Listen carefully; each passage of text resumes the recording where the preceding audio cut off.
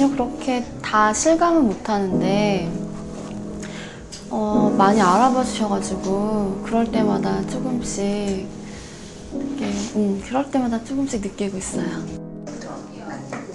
어, 저는, 이렇게, 꽃미남 스타일보다, 쌍꺼풀 없고, 코도 그렇게 높지 않고, 정말 그 평범한, 수수한 스타일 너무 좋아하거든요. 좀, 의외로 소심한 면이 있어요. 네, 되게 털털하고 좀 남자 같고 오히려 좀 그런 편이거든요. 그래서 네. 근데 또 이렇게 얘기하면은 또 너무 막 매니아 같다고 말씀하시는데, 그러니까 제가 좀 덜 바빴다면은 지금 신제품이 많이 나오고 있거든요. 프라모델 하는 시간을 좀 더 많이 할애했을 것 같아요.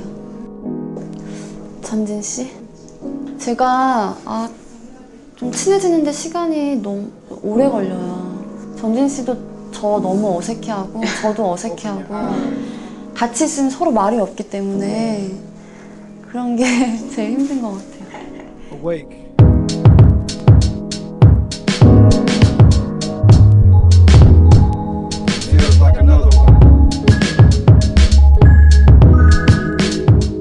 연기자는 무조건 연기를 잘해야 된다고 생각을 해요. 그래서 정말 연기 잘하는 연기자가 되고 싶어요. 그게 제 오랜 꿈이었고 앞으로도 그렇게 할 거고 다 누구나 치열하게 준비를 해서 데뷔를 하잖아요. 제가 5년 동안 준비하면서 내가 만약에 이거를 안 하면 뭘 할까 했을 때 아무것도 생각나는 게 없었어요.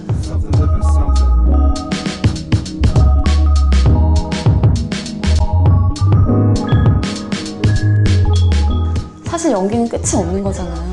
그렇기 때문에 시간으로 따질 수는 없는 것 같고. 제 욕심 같아서는 여러 작품에서 여러 가지 캐릭터를 해보면서 되게 많은 거를 쌓아가고 싶어요.